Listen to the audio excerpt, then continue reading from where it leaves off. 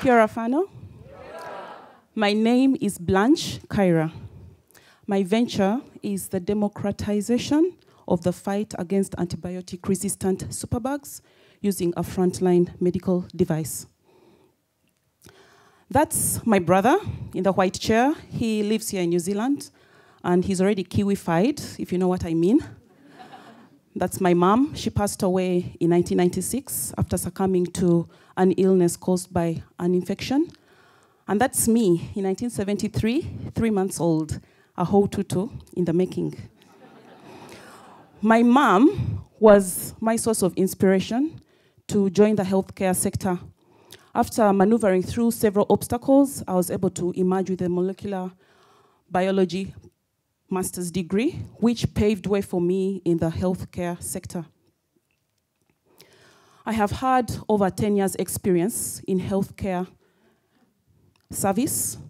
And during this time, I have overseen projects in 31 countries, spanning 11 Caribbean countries and 20 African countries.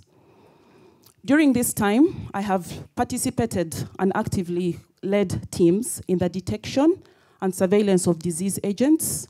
And in one particular instance, my team was able to participate in the timely management of the 2009 swine flu pandemic in Uganda with zero fatalities.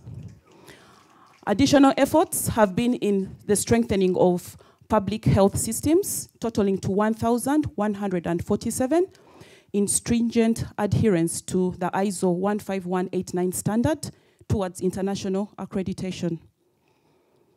Throughout this time, the high prevalence of antibiotic resistance caught my attention. For the benefit of everybody that is here, antibiotic resistance is the ability of bacteria to subdue the effectiveness of antibiotics that have been designed, developed, and administered to kill them. Basically, that means that they cannot be treated and these bacteria live on.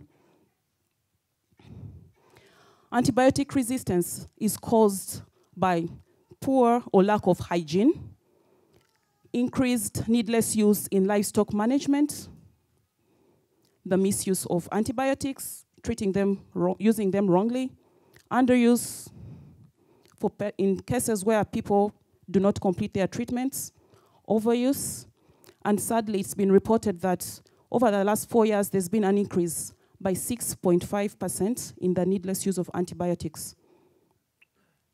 Sometimes we go to hospitals to get our infections treated, only to leave them with other infections.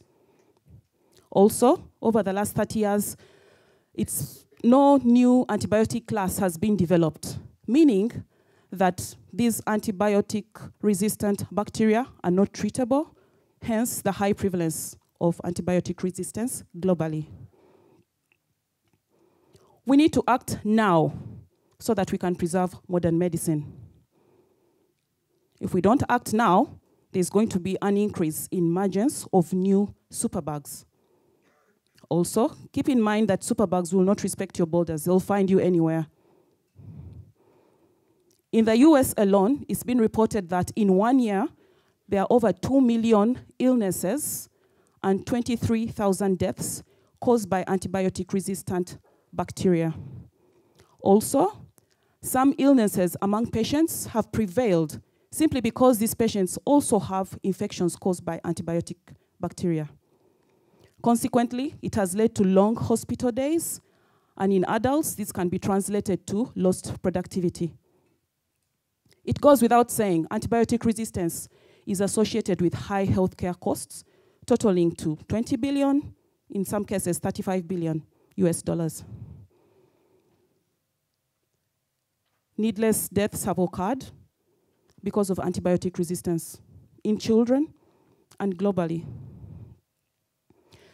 The World Health Organization and CDC have called for urgent action to combat the crisis.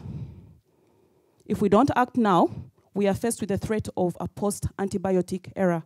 Basically, this means illnesses caused by bacteria that were previously treatable will now be not treatable.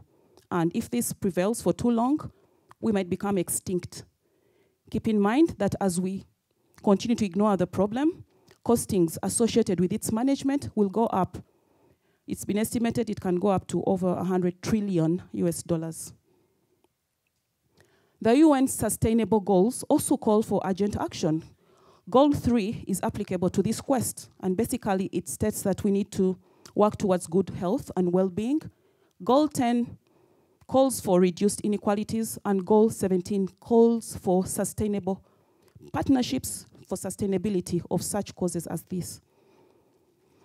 During the time that I have worked in the healthcare sector, I have overseen the execution of patient satisfaction surveys, and some of the key frustrations highlighted were the high costs associated with treatment of these infections, the very low doctor-patient ratios, the high time, the long waiting hours that patients have faced as they are trying to see a doctor or wait for results to come back, and the doubts that they have displayed with regard to the quality of testing results because they know that these health facilities do not have the necessary infrastructure. But they have no options, so they keep going to these health facilities. These findings guided me in the design of a solution, which is a product as a service that I've called Musawo. Musawo is a local word that means doctor. this doctor will help, this device will help in the detection and tracking and also the treatment of these antibiotics these antibiotic resistant threats. I intend for it to be affordable to everybody in the globe. And affordable to everybody, I'd like to emphatically say that it should be affordable by all persons that live on less than two and a half dollars per day, which constitutes 50% of the global population. It will be easy to use using three simple steps. It will provide results in real time, where real time I'll define as under 10 minutes and it will have an acceptable threshold of accuracy. I believe strongly that for this to happen, we need to incorporate behavioral change with an integration of technology. This will lead to the mitigation and significant reduction of antibiotic, of the prevalence of antibiotic resistance. I do not know why these people have had this life suffering with these infections and sometimes losing their lives. But I know that I'm here in New Zealand on a mission. I come to you all, whānau, co creators, and the global community with my offer, which is sharing my knowledge and my experiences in the field. I also come to you with an open mind, ready to work with you all. I need funding. I need access to your laboratories and I need partnerships for the sustainability of this quest. Will you work with me, Kia ora?